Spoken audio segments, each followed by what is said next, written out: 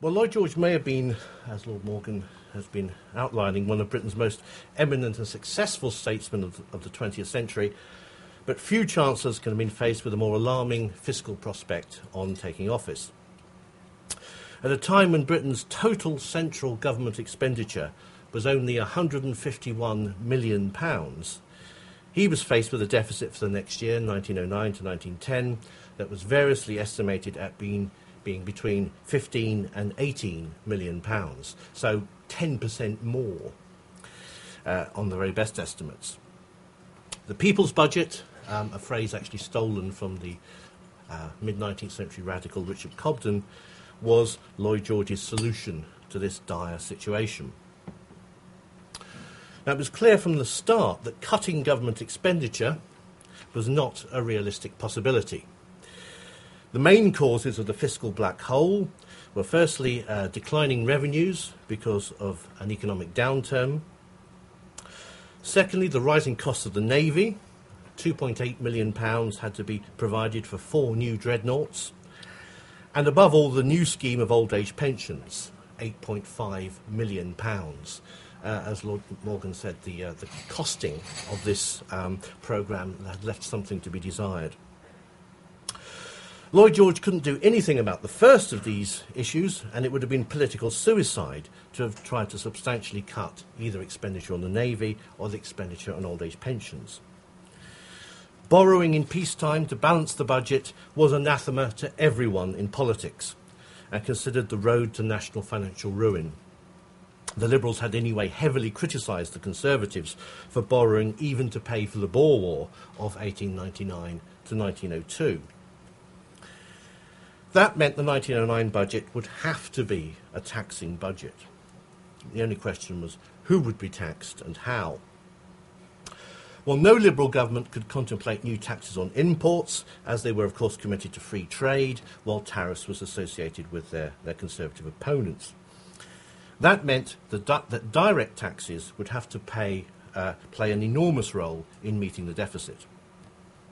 Here, Lloyd George's path had already been laid out for him by his Liberal predecessors. The historic difficulty about raising income tax was that even though there were some abatements that could be claimed by those earning from the threshold of £160 per annum, that's about the income of a kind of white collar worker, a clerk, up to about £700, there was only one basic rate of income tax, and this applied to all forms of income. So increases could press quite hard on those with modest salaries. And when people in this era talk about you know, reaching the limit of taxation, this is really what they're talking about. Increasingly, Liberals had come to see this as inequitable and that the key test of fairness should be ability to bear taxation, not a uniform rate. The wealthy wouldn't miss a few pennies on direct taxation, while the struggling clerk or tradesman might have to go without some of the necessities of life. This principle had already been enshrined in Liberal budgets. Uh, in 1894, Sir William Harcourt had graduated death duties to ensure bigger estates paid higher rates of tax.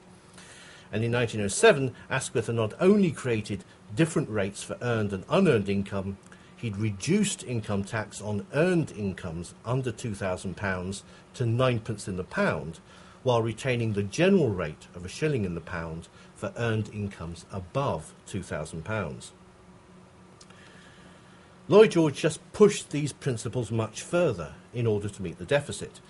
In 1909, income tax was graduated all the way up from ninepence in the pound for those on earned incomes under £2,000 per annum, all the way up to one shilling and eightpence, that's of course more than double, uh, for those with incomes over £5,000 per annum, if you add in the, the, the sixpence super tax. Death duty rates were pushed up so that the estates of £5,000 paid 4%, while those over a million paid the, the giddy rate of 15%. These increases in direct taxation were estimated to provide the largest sum towards meeting the budget deficit, £6.3 million. Lloyd George intended that most of the 1.2 million or so income taxpayers who earned less than £2,000 per annum would see no increase in taxation at all. And the heaviest burden would be carried by the small group of people who earned over £5,000 per annum. And there may have been as few as um, 11,500 of them. But he had no illusions about the intense opposition these proposals would, would face from the Conservatives and the need to justify them in public debate. In particular, Lloyd George had to face the argument that higher taxes on the wealthy would harm the whole economy by appropriating capital that was desperately needed for investment. Now, he tackled this problem in, in all sorts of ways, but most importantly, he practiced a kind of prodigious sleight of hand by, very successfully, doing everything he could to distract attention from the rises in income tax and death duty and focusing the spotlight of debate on the land taxes. Now, originally, Lloyd George had concentrated on trying to have a simple penny in the pound annual tax on the capital value of land worth over £50 per acre.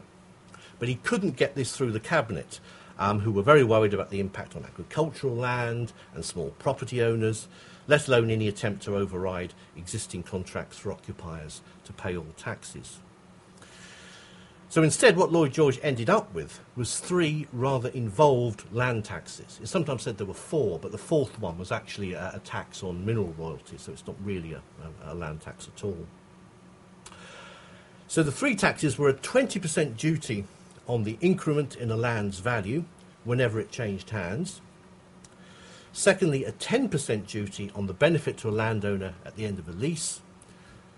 And finally, an annual halfpenny in the pound tax on the value of undeveloped land, apart from agricultural land, which was exempted. Now, as Lord Morgan has said, these taxes were never intended to raise much money. Uh, Lloyd George suggested only half a million pounds, perhaps, in 1909 to 10, and to collect this money, uh, it would involve the gigantic task of valuing all the land in the United Kingdom, a proceeding that was still un- incomplete in 1914, that was by that time employing a staggering 5,000 people, some of them on a part time basis, admittedly, and it had cost over £2 million. But by emphasising the significance of the land taxes in Parliament and in some of his most famous speeches, Lloyd George created the actually entirely misleading impression that most of the new taxes on wealth were actually taxes on land. An impression, of course, that was only confirmed by the virulent Conservative denunciation of the land taxes and the rejection of the budget in November 1909 by the landlord dominated House of Lords. This strategy invigorated Liberals, most of whom disliked landowners intensely, after all, most of them were implacable Tories, and reassured wealthy businessmen in the Liberal ranks. But it also made it easier for Lloyd George to claim he wasn't actually attacking capital as such, only the unproductive elements within it, because, of course, landowners' accumulations of wealth had not been earned and were dissipated in lavish consumption. Landowners merely sat back while others who rented or leased their land increased its value. Uh, the famous unearned increment, or that's the popular understanding, I think, of the phrase that was mentioned so much on political platforms in 1909 and 1910. This strategy was extended by yoking the land taxes with new duties on licenses to make and sell alcohol. Now, these were expected to make a big contribution to meeting the budget deficit, about 2.6 million. But of course, they also ranged temperance enthusiasts behind the budget and could be justified as an assault on another unproductive fraction of capital, the drink industry, which it could be claimed merely made workers less efficient, or drunk if you like, and diverted their spending from other more useful products. Landowners and the alcohol trade were essentially defined as parasitic upon the rest of production and suitable targets for fiscal persecution.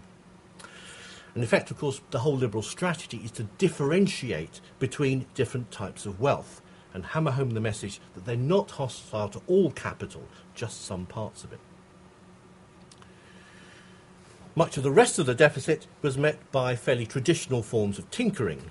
Um, £3 million was raised by raiding the sinking fund.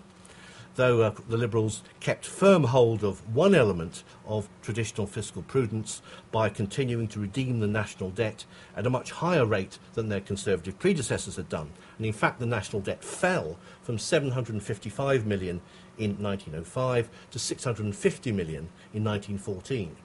Pity the First World War came along to spoil it all. Um, stamp duties, of course, increased um, to bring in another £650,000. Though it's interesting that um, Lloyd George eventually decided not to increase stamps on bills of exchange on the grounds that this would harm the City of London too much. Finally, £3.5 million was to be raised by increases in tobacco and spirits taxes, uh, not beer, spirits. Um, an old standby for hard pressed chancellors, but also, I think, a policy that allowed Lloyd George to suggest he'd retained the traditional idea that all classes should contribute to national taxation. Because, of course, those who earned under the income tax threshold, which is virtually all working class people, uh, would also pay those indirect taxes when they purchased um, tobacco or spirits. Though pointedly, Lloyd George did not reverse the cuts in duties on tea and sugar that Asquith had made when Chancellor. So the working class contribution to national taxation now came almost entirely through what were defined as luxuries rather than necessities.